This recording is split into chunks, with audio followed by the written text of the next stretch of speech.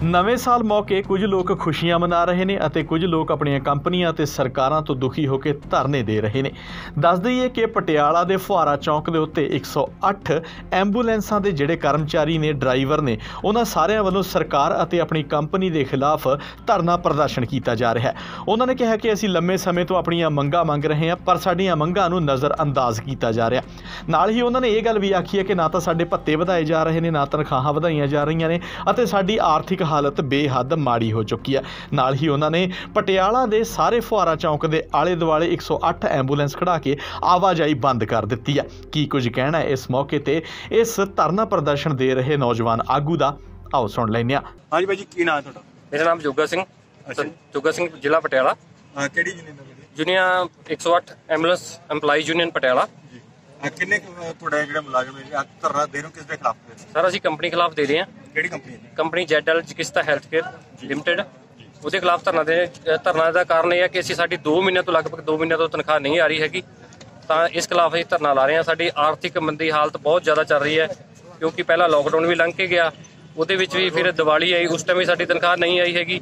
ਫਿਰ ਦੁਸਹਿਰਾ ਲੰਘ ਗਿਆ ਫਿਰ ਅ, ਗੁਰਪੁਰਬ ਵੀ ਲੰਘ ਗਿਆ ਉਸ ਟਾਈਮ ਵੀ ਤਨਖਾਹ ਨਹੀਂ ਆਈ ਹੈਗੀ। ਹੁਣ ਲਗਭਗ 2 ਮਹੀਨੇ ਹੋ ਗਏ ਨਵੇਂ ਸਾਲ ਵਾਲੇ ਦਿਨ ਵੀ ਬਿਲਕੁਲ ਜਿਹੜੀ ਤਨਖਾਹ ਨਹੀਂ ਆਈ 108 ਜਿਹੜਾ ਮੁਲਾਜ਼ਮ ਨੇ ਬਿਲਕੁਲ ਗਰੀਬ ਤਬਕੇ ਤੋਂ ਅਸੀਂ ਸਾਰੇ ਮਿਡਲ ਕਲਾਸ ਫੈਮਿਲੀ ਚੋਂ ਆ ਵੀ ਸਾਡੇ ਸਾਡਾ ਘਰ ਦਾ ਗੁਜ਼ਾਰਾ ਚੱਲਣਾ ਬਹੁਤ ਮੁਸ਼ਕਲ ਹੋਇਆ ਪਿਆ। ਪੰਜਾਬ ਸਰਕਾਰ ਨੇ ਕਿਹਾ ਸੀਗਾ ਕਿ ਤੁਹਾਨੂੰ ਪੈਨਲ ਤੇ ਲੈ ਕੇ ਡੀਸੀ ਰੇਟ ਤੇ ਤੁਹਾਨੂੰ ਜਿਹੜੇ ਆ ਆਪਣਾ ਲੈ ਲਵਾਂਗੇ। ਕੋਈ ਹੋਈ ਹੈ ਜੀ? ਹਜੇ ਸਰਕਾਰ ਕੁਝ ਵੀ ਨਹੀਂ ਕਰ ਰਹੀ ਸਿਰਫ ਉਹਨਾਂ ਆਸ਼ਵਾਸਨ ਦਿੱਤਾ ਹੈ।